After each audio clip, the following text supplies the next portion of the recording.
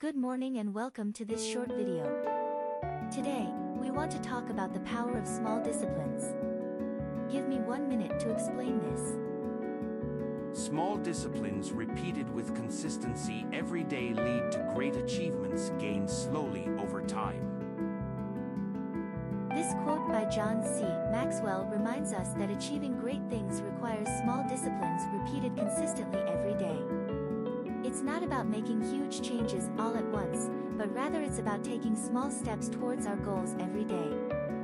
By consistently doing small disciplines, we can achieve great things over time. We can build new habits, learn new skills, and grow in ways we never thought possible. So let's start this day by committing to small disciplines that we can repeat every day. Let's focus on making progress, even if it's just a little bit at a time. Thank you for watching, and we hope this message inspires you to take small actions every day to achieve your goals.